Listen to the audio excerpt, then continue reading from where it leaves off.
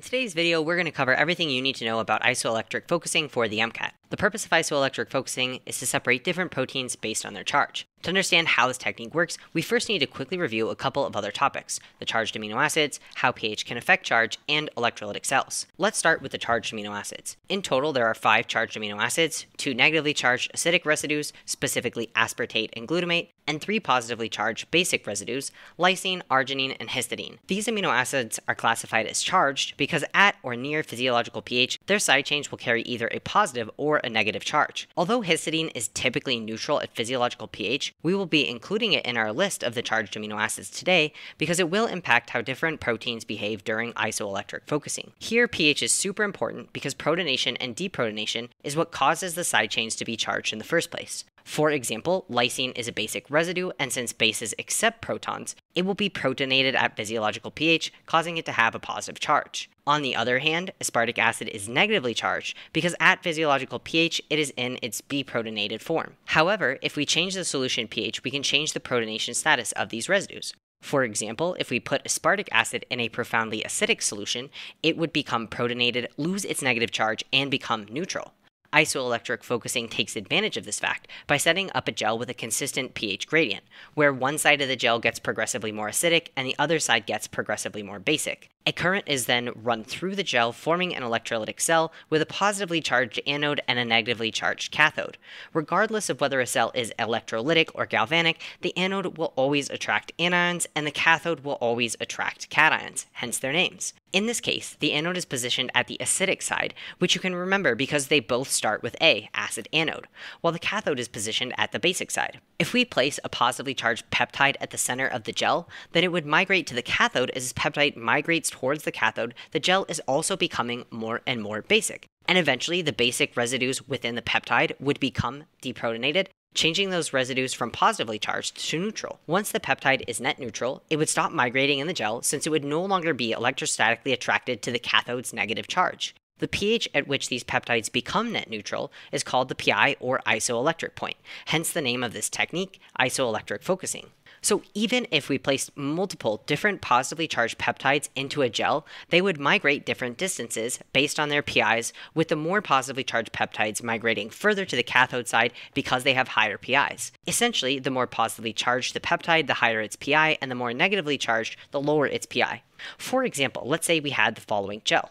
In this gel, all of the samples were initially placed in a central well at pH 7, then allowed to run on the gel. Their final positions as seen here tells us a lot about their charges. For example, the dark and light blue samples have migrated towards the cathode, meaning they must have been positively charged at neutral pH. Remember, the cathode attracts cations.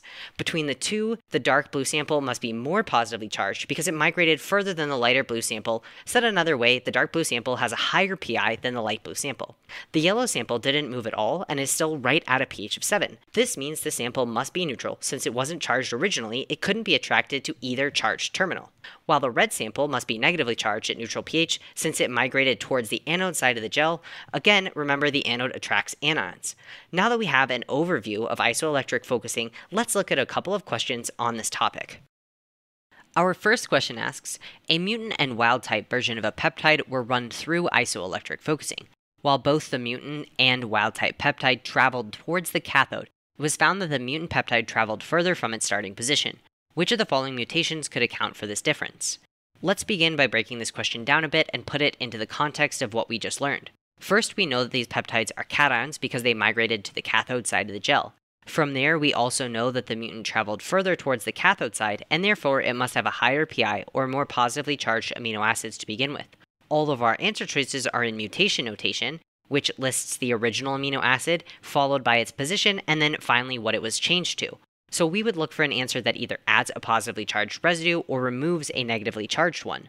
Only answer choice D fits this, making it correct since this answer denotes a mutation that eliminated an aspartic acid residue and replaced it with a lysine residue in the mutated form of the protein.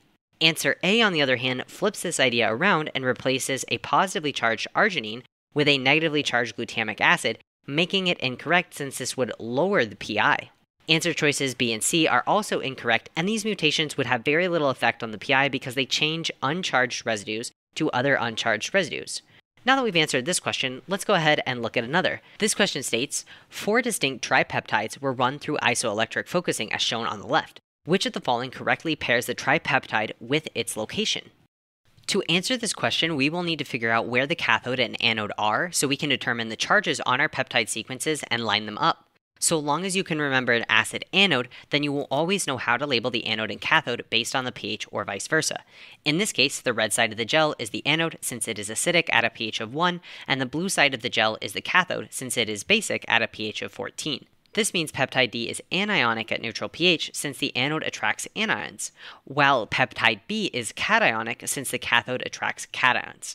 Scanning through our answer choices, we can see that only answer choice A and D had peptide D as a negatively charged or anionic, so we can eliminate both B and C since we know peptide D was originally an anion since it was found near the anode side of this gel.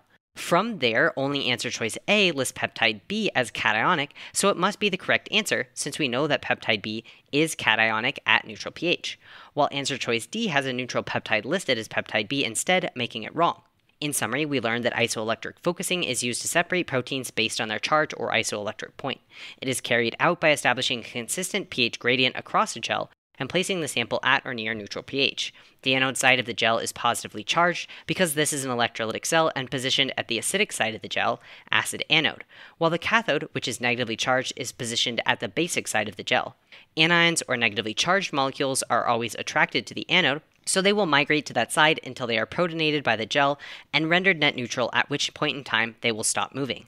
While cations or positively charged molecules are always attracted to the cathode and will migrate that way until deprotonated and rendered net neutral, at which point in time they will also stop moving. The pi or initial starting charge of the peptide affects how far that peptide will migrate in the gel. The larger the pi or the more positively charged it is, the further that peptide will move to the cathode side, and the same is true for the anode, except here it corresponds with smaller PIs or more negatively charged peptides. As always, if you found this video useful, make sure to like and subscribe and share this with anybody else who might be taking the test.